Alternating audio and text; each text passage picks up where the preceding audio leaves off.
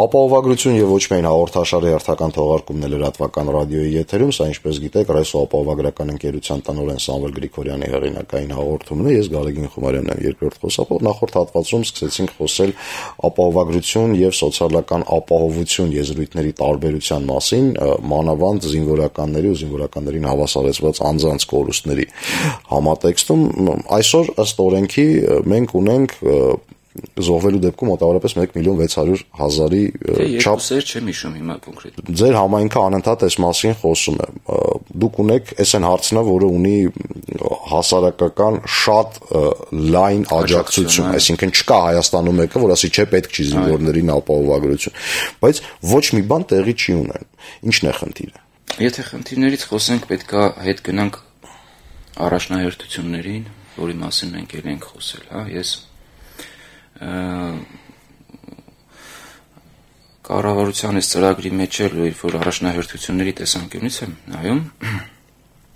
Հիշում եք մենք այն անգամ քննարկում ենք որ մեր համանadrության փարչակած առաջին արժեքը դա ինքնիշխանությունն է։ Ահա։ Այսինքն անկախությունը բոլոր բնակավարներում ինքնիշխանությունը, անկախությունը, ինքնուրույն քորոշումներդ կայացնելու պատասխանատու այս բանը հիմքում դրված չէ։ Սա պետք է կարմիր թելի նման բոլոր նախարարությունների, բոլոր կառավարության, բոլոր գործողությունների ճյուղերի մեջ պետք է անցներ։ Այսինքն, սենց ասեմ, ես հիմա գալիս եմ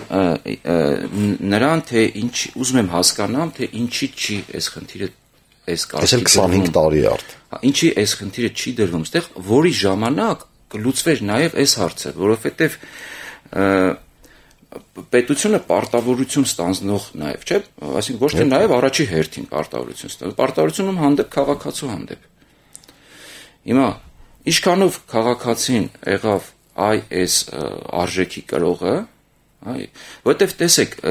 սոցիալական նպաստ ստացողի հոգեբանությունը կամ կարգավիճակը ուրիշ, ախր ստեղ ստեղ ուրիշ խնդիր էլ կա, որ ես ասում եմ ոչ թե պետքա սոցիալական ապահովության համակարգ լինի, այլ ապահովագրության համակարգ։ Սոցիալական նպաստ ստացողի հոգեբանությունը այն որ պիտի հերթ կանգնի միջինովնիկի դրան առաջ, չգիտեմ։ Ուրիշը, հասկանում եք,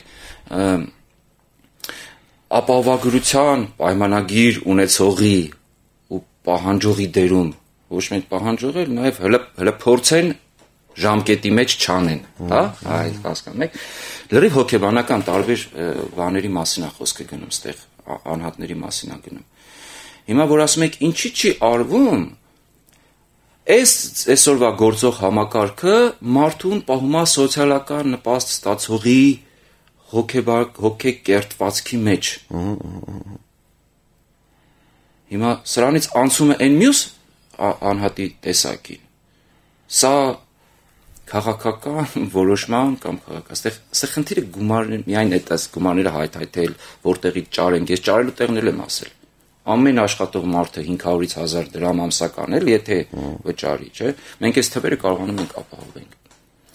Ինք տեղերն էլ կան, դա տենց չի որ չկա այդ տեղ այդ գումարները։ Հիմա այստեղ խնդիրը այդ պատճառի առումով, ես չգիտեմ, մենք պետականորեն ուզում ենք մեր անհատը նպաստառույից դառնա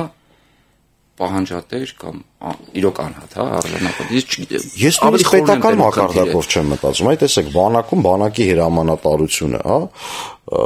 հիմնականում, նո հիմիկվա նախարարը չէ, բայց ինչև այդ հիմնականում, հա, պատերազմ անցած մարդիկ, վիրավորում ստացած մարդիկ, նախորդ պաշտպանության նախարարը ոդկ չունի։ Հիմա այդ մարդը ով պատերազմել է, ով մահ է տեսել, ով ոդկ է կորցրել, ինքը հո այդ ապահովագրության ղադրը կոպիտ ասած պետք է իմանա ինքը իր կենսափորձը վերլուծելով պետք է չէ գա այն եզրակացության որ այ եթե 92 թվականին լիներ ապահովագրություն իմ կյանքը միանգամայն այլ կերպ կդասավորվեր եւ այլն եւ այլն երբ այդ փորձը ու դրա բացակայությունը սեփական մաշկի վրա զգացած մարդիկ գալիս հասնում են պետական լծակների ու ձեռք են բերում ազդեցություն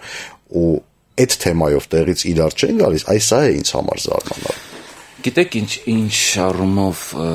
տեսեք մենք որ ասում ենք առաջնահերթություններ, մեր պետբյուջեն, որ ուսումնասիրում ես, մոտ 50%-ը սոցիալական ուղղվածության խնդիրների լուծումը, լուծմանա ուղղված։ Չէ՞ տարբեր Այսինքն պոլիկլինիկաների ֆինանսավորում, ինչ որ հանրային եսիմինչ բաներ հասկանում եք, սոցիալական պետության հիմքում դրված է բանից այն այն սնվողի հոգեբանությունը Մենք նպաստառու երկիր ենք ասած։ Հասկանում եք, ստեղ ստեղ շատ արմատական սկզբունքային իսկ ինքնիշխան անհատի ու պետության հիմքում լրիվ ուրիշ կոնցեպտ է դրված, հա։ Հիմա սոցիալական պետության հիմքում, որի այն մեր անցած բանով գիտենք այն խորթային տարիների բանի չէ, պարտիա եւ այլ մի, մի ճիշտ գոյություն ուներ այդ էր, հա։ Բոլորը սնվում են ինչ որ տեղից, բոլորը ինչ որ տեղից կախված են, անհատը որպես անհատ այն չի ինչ որ կա ինքնիշխան պետության կամ ինքնիշխան անհատի դեպքում։ Այստեղ այստեղ այստեղ գլոբալ հիմքերի տեղաշարժի խնդիր է, հիմքերի հիմքերը վերանայելու խնդիր է Այս ինձ թվում է այս կարգի խնդիրներ են հիմքերը։ Իդեպ սովետը իր համակարգի մեջ ինքը վետերանների նկատմամբ դրսևորվող վերաբերմունքի առումով բավականին օրինակելի երկիր էր։ Ես հələ հիշեք այդ տատիկ պապիկները մեր պատերազմանցած մինչև կյանքին վերջի օրը ինչ արտոնություններից էին օգտվում, որտեղ էին գնում, հարգանք, պատիվ ու այսինքն ամենապապահոված խավներ փաստորեն պատերազմ տեսած վետերաններ։ Հիմա մենք Հայաստանում ունենք դրան հասնելու այլ ճանապարհներ խնդիրն էս մասին է, երբ մենք ազգ բանակ եզրույթն ենք սկսում օգտագործել, ապա գոնե ինձ համար ազգ բանակը դա համաժողովրդական համերաշխության մակարդակի ավելացում է մի բան, մի բան, որի վրա հենց խարասխված են բոլոր ապահովագրական ինստիտուտները։ Բոլորս ուծում ենք, չգիտեմ, 500 դրամ, 1000 դրամ, որպեսի արխային հանգիստ գնանք զոհվենք չմտածելով, թե ինչ է լինելու մեր երեխաների, ծնողների եւ այլնի հետ եթերաժամը ավարտին է մոտենում Սամվել ես հույս ունեմ որ այ այս ժամանակահատվածը երբ այդ ազգ բանակ եզրույթը բարձրաձայնվել է ու նախարարի կողմից է բարձրաձայնվել հենց այն ժամանակահատվածն է երբ բոլոր շահագրգռված մարդիկ պետք է ուղղակի ոդկը մի կոշիկի մեջ դնեն ու սկսեն սա պահանջել Եվ մեր այս հաղորդումն էլ իրականում հենց այդ նպատակը ուներ, որ մի անգամ էլ բարձրացնենք այս խնդիրը, որովհետև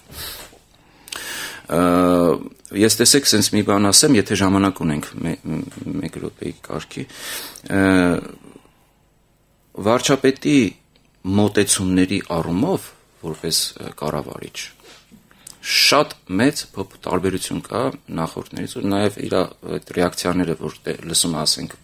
ինչ որ հիմնավորումներ, մեկնաբանություններ տարբեր նախարարությունների, միանգամից կտրում ասում է կոնկրետ չէ։ Հիմա սա այ այդ կոնկրետության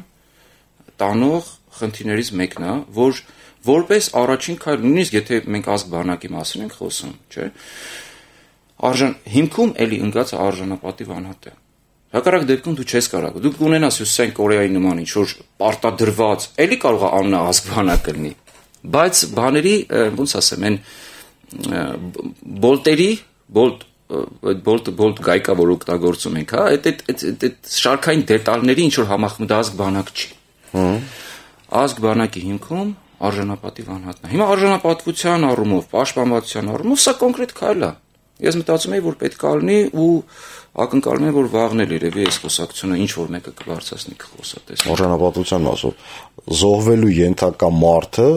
չպետք է պատկերացնի իր հորն ու մորը ինչ որ մի կաբինետի դիմաց վիզ ծառելու։ Այստեղ ամեն ինչ սկսվում է ու այստեղ էլ վերջանում է իմ կարծիքով։ Շնորհակալություն վերլուծությունների համար, շնորհակալություն ուշադրության համար արգելի ռադիո լսողներ, կհանդիպենք ուղիղ մեկ շաբաթ հետո։